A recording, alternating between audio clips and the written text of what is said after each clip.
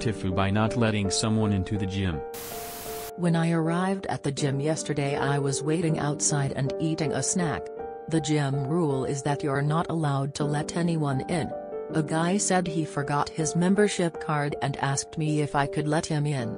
I was wearing headphones so I just waved and smiled and pretended to not hear him, bobbing my head to music.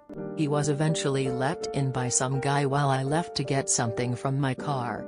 I went back in to finish my workout and then I left. Today I go to workout again, and he's the only person in the gym. To my surprise, I somehow lost my membership card.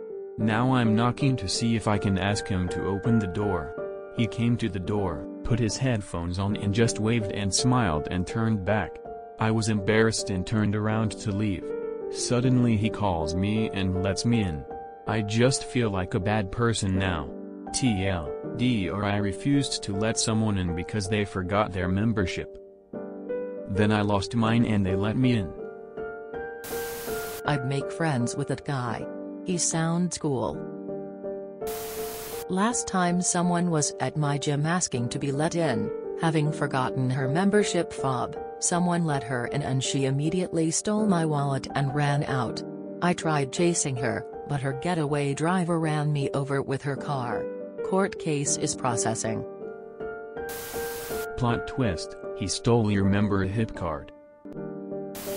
Presumably, you didn't know he was a member previously, you had not seen him enter the gym with a membership card or at the gym before. He however, saw you enter the gym thus knew you had a membership card. I'd say you are in the clear. You never know when some random guy is actually a human spider that will inject you with digestive fluids and then suck up your insides like a human smoothie. I'd say you are still in the clear. And it was okay for him to let you in in that instance because he had already previously confirmed your status. It was also kosher for him to take the piss out of you with the headphone trick as a means of relieving tension. A true tifu. Wholesome, even. A rarity. As a security guard, you did absolutely nothing wrong. Sounds like you followed policy there. I hate places that rely on everyone to maintain security like that. So many office buildings have badge access doors and just tell people not to let others in. But am I really supposed to just slam the door in someone's face? And if someone is actually trying to get unauthorized access, am I really supposed to confront them? Hire someone to work at the front desk, you cheap bastards. I think the only thing you were a dick about is not even talking to him. You heard him, could have at least spared some time to voice your opinion slash stance about the matter. So I don't feel that you were just following policy or doing the right thing, you were also lazy. This is hilarious, make friends with that dude. Directed by Robert B. Weide. Cue Curb Your Enthusiasm's theme. Always take a picture of your membership card.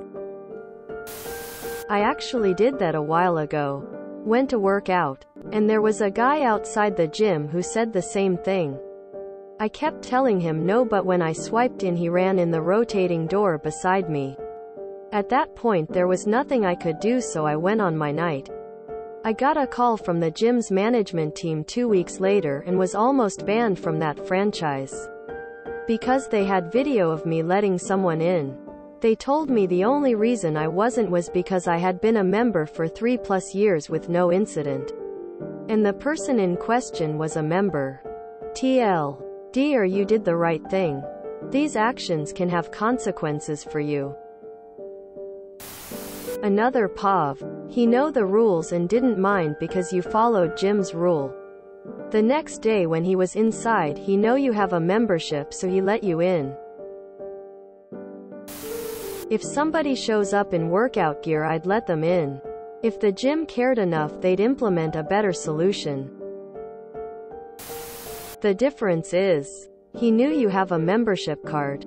And when you first saw him you did not know that he has one. Not the same. Karma at its finest. We've all been there. Buy him a protein drink to make amends.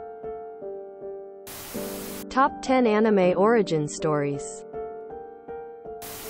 Yeah, he was a solid ass guy for sure. He's someone you should try to find again. I'm just guessing he's probably smart and insightful.